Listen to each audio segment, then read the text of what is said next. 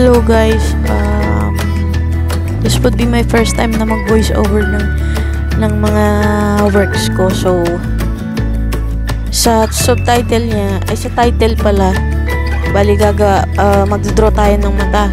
So, this would be my first time na gawin ito.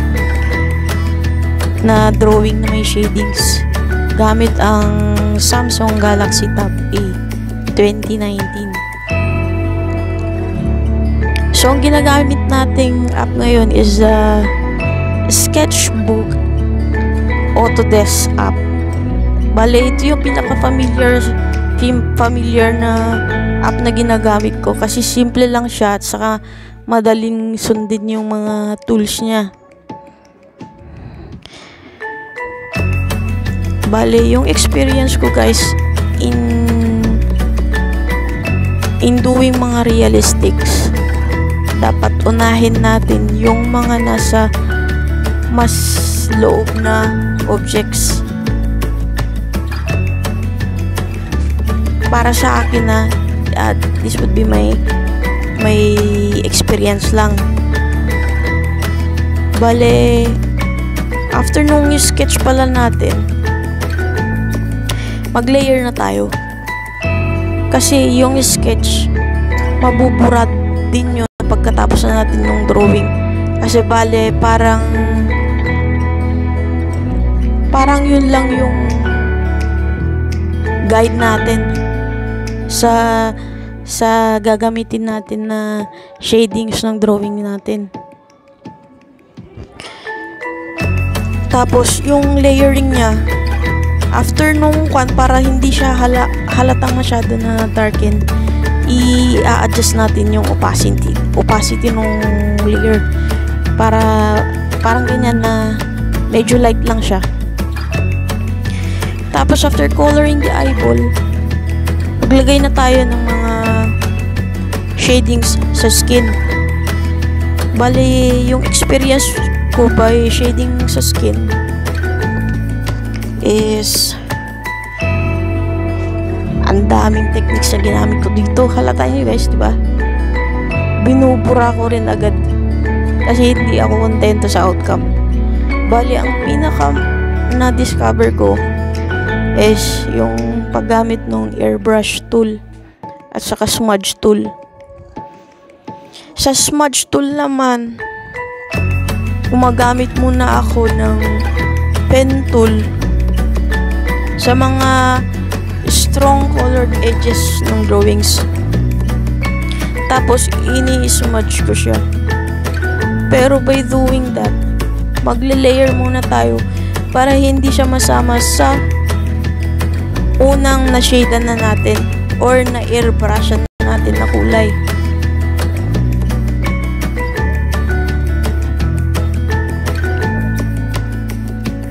Then, ganyan, adjust-adjust lang tayo sa mga kulay.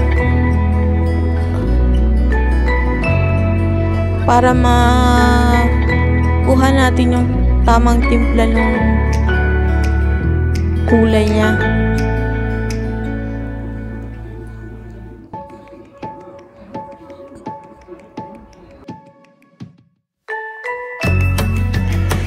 Pasensya na po hindi ko po nakunan nung ng video yung pagtuloy-tuloy po ng drawings.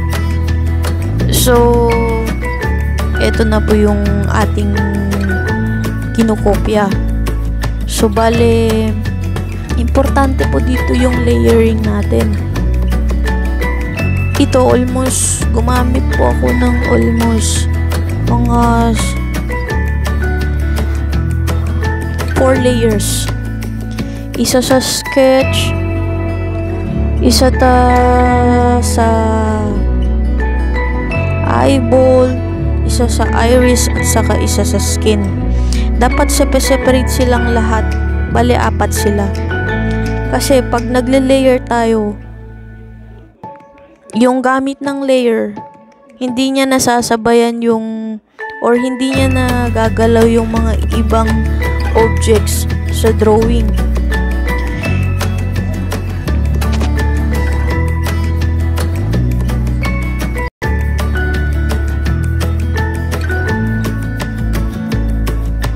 And sa katulad nung sa iris, yung mga guhit-guhit niya, gumagamit ako ng brush tool yan. So, ibig sabihin, may, sabi, ibig sabihin pag sa brush tool, dapat opaque siya. Kasi strong color yung ginagayan natin. May mga strong parts ng colors siya. And may mga uh, part din na na-airbrush. So, tansyahin lang natin kung ano yung tamang tool para sa object na draw natin. By the way guys, yung picture na ginagaya natin, courtesy ng Google yan. Bali, din-download ko lang siya.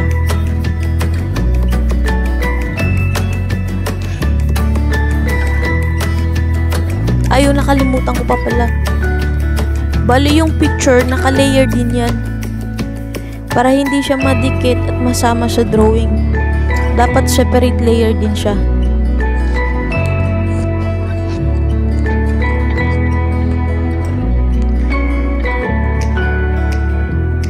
Tapos, yung, yung outer ng iris, gumagamit tayo ng airbrush niyan. Pero, inadjust ko ng opacity niya, guys. Inadjust ko ng opacity para medyo parang naglo-glow siya. Yun yung sinasabi ko kanina sa inyo na gumagamit muna ako ng pen tool to darken then smudge para ma-blend siya.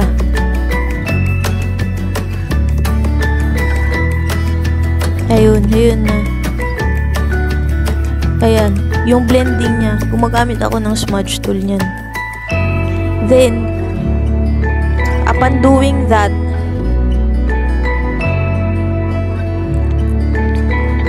sinusunod ko yung airbrush para ma-blend niya ng pinong-pino yung shadings natin.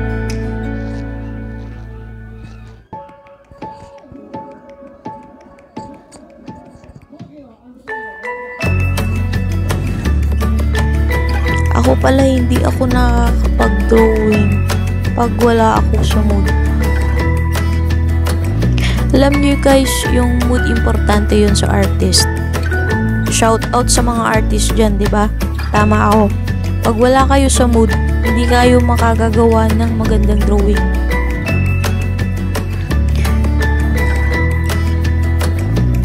So, ito na siya. Yung layer ng skin, pansinin yung maigi.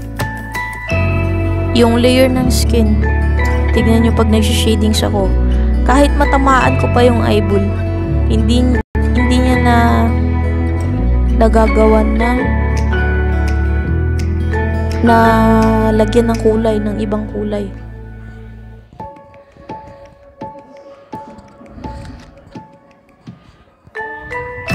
Smudge, smudge lang yan. Brush, brush, then smudge. Pag medyo halata yung mga strokes ng smudge natin, doon na tayo mag-airbrush. Yun yung ginawa ko eh. Pag pansin ko na halata yung mga strokes ng smudges ko at saka brush, in eh, dinadaya ko na siya sa airbrush.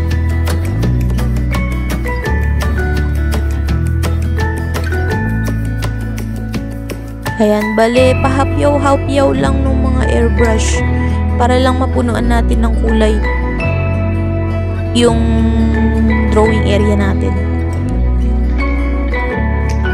Hapyaw-hapyaw lang, then saka tayo mag-blend. Mag-adjust. Kasi hindi naman natin nakikita yung talagang kanya pag hindi natin kulayan ng buo niyan eh.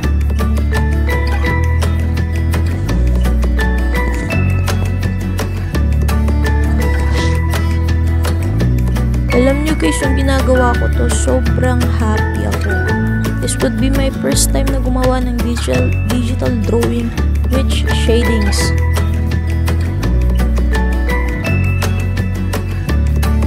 Kasi most, mostly yung mga works ko is sketches and cartoon type drawings. So, bale, na-inspire kasi ako sa pinanood ko sa YouTube. Isang artist din. Tinignan ko yung how to draw an eye niya. Eh, para siyang talagang mata siya. Realistic eh. Realistic yung dating. So, bali na-inspire ako. Ngayon, naghanap ako sa Google ng images ng mata. So, I, I've come up with this image. So, sabi ko sa sarili ko, matry nga. Baka, baka lang, baka kaya ko. Kung hindi naman, kung hindi ko kaya, di another version. Pero with the outcome, medyo nakaya ko naman ng konti. Konting-konti lang.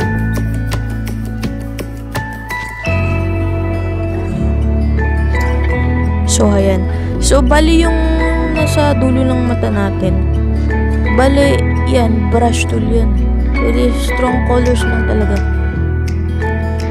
Then, saka ako nag-blend.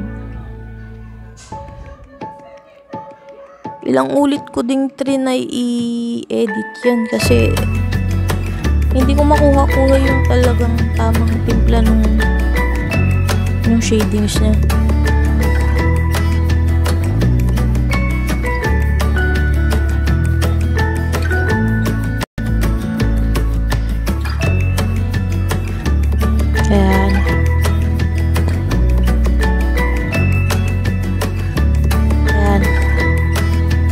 Malapit na.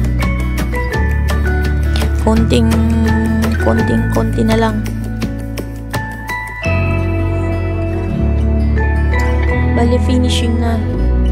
Finishing na and blending. Konti pang blending. Sa part na ito guys, hindi pa ako masyadong kontento. Kaya, inuulit-ulit ko siya. Kasi hindi ako kontento sa siya. Eh, hindi, up, hindi pa ako kontento sa outcome.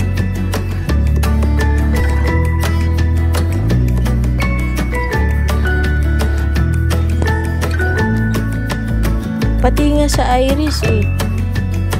Akala nyo tapos na dyan pero hindi pa.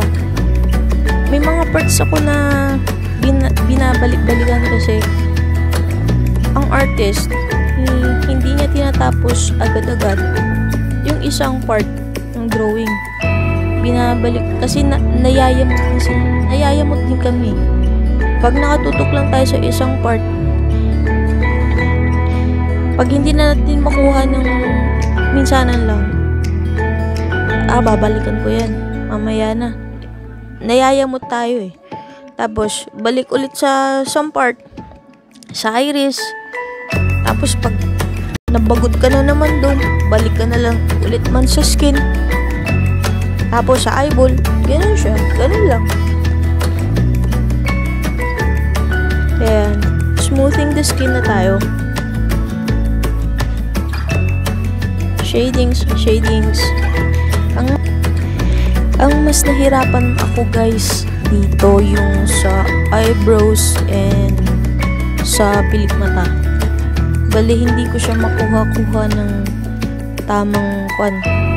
Kaya medyo tinamad na rin ako. Bali one stroke na lang yung ginamit ko sa eye, eyebrows at saka sa sa pilik mata niya, sa eyelids niya, sa ano bang pilik mata.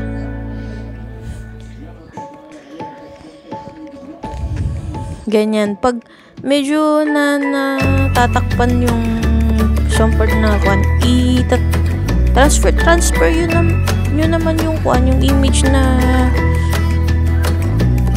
kinokopya natin para hindi niya matakpan yung sa drawing area natin.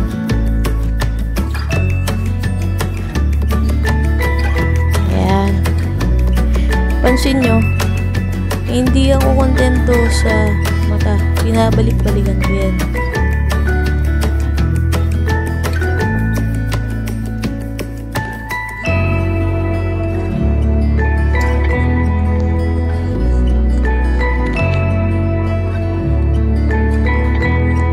Tapos pag medyo nangangawit na yung kamay ko, pahimpahinga ng konti.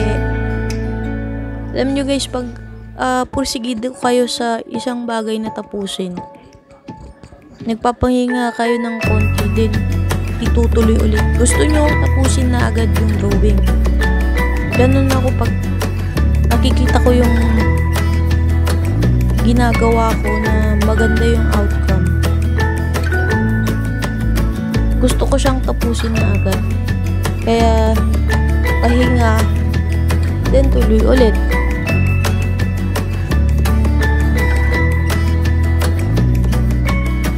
Ayan yung mga mga corner corner colors niya, mga strong colors na corner. Ginagamitan natin yan ng smudges, brush and smudges. Parang sa watercolor. Layer ka lang ng layer ng kulay. Pero sa watercolor kasi, hindi ka nakaka darken agad. Sa watercolor naman eh, light, light muna. Light ng light, patong ka ng patong, patong ng patong, hanggang tumitigas na yung, yung kulay na gusto mo.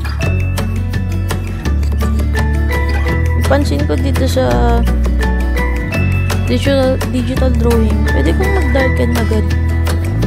Kasi na, para sa oil paint, oil paint, na i-smudge mo siya into lighter color. Dagdag ka lang ng ibang kulay, then smudge. Okay na yun.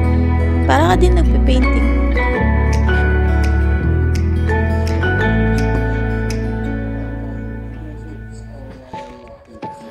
Bale, dito na tayo natagalan sa kwan sa finishing niya. Bale, ito na yung yung talagang in detail effect na. Uh,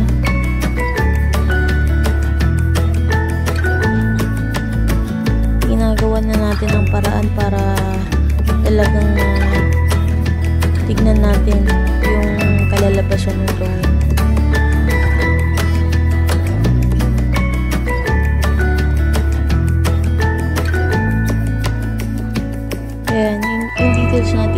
Chine-check na natin talaga yung mga corner colors.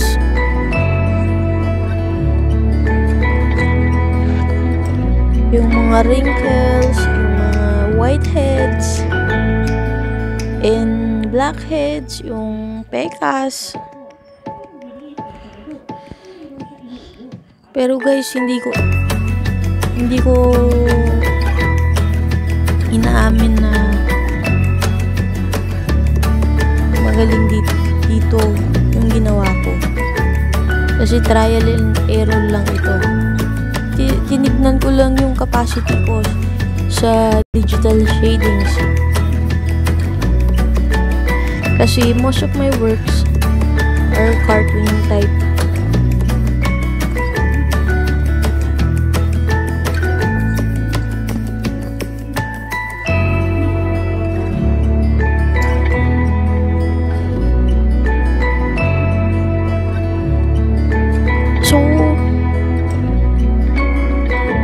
After...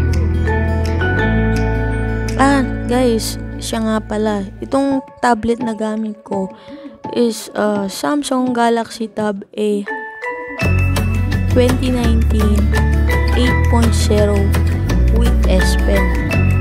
Bale, talagang may kasamang S Pen ito. Uh, I bought this one kasi kailangan ko talaga sa work. So, malaking tulong din sa akin to. Kasi ako, ayo, ako ah, in my perception lang, ayoko kasi mag-focus sa manual art lang. Marami na akong na-try na type of art. Kasi sa akin naman, uh, versatility yung gusto ko. Ayan yung nagpo-polymer clay ako. uh, nagmamakramay din ako. So, lahat ng art na pwedeng ituro sa akin na natututunan ko naman is okay lang sa akin kasi I'm happy with it. I train people. Nagtre-train ako but I train people also for them to learn. So, I'm not just doing paintings, uh, digital drawings, basta lahat ng klase ng art. If I have the guts to learn it, I'm doing it.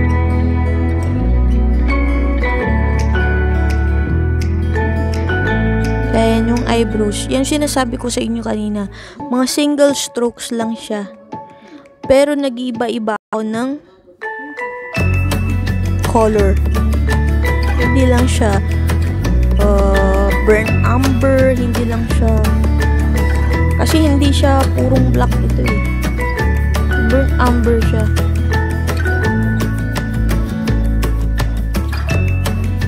Diyan ako tinamad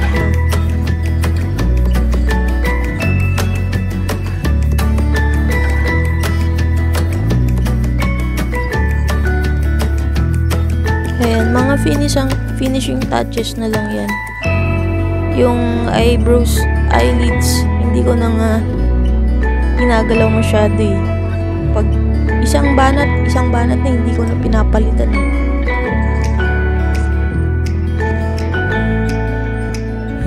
Another layer na naman yan guys. Kasi yung eyebrows, pag tinamaan yung mismong ginawan nyo ng skin, hindi mo na, pag binura mo yan, burado na lahat. So, dapat pag nagkuha tayo ng eyelids and eyebrows, ibang layer din yun. Para kahit pag nagkamali tayo, pwede natin burahin.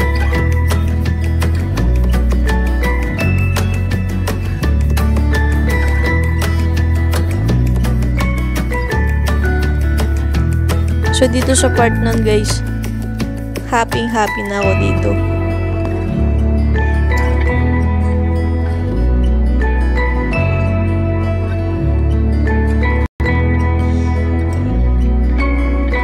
Kaya ko din pala. Ayan, finishing shadings, finishing touches.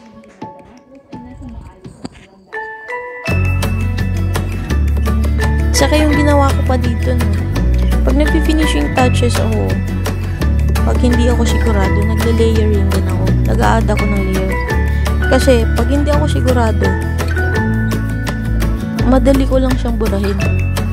Pag hindi ako kontento.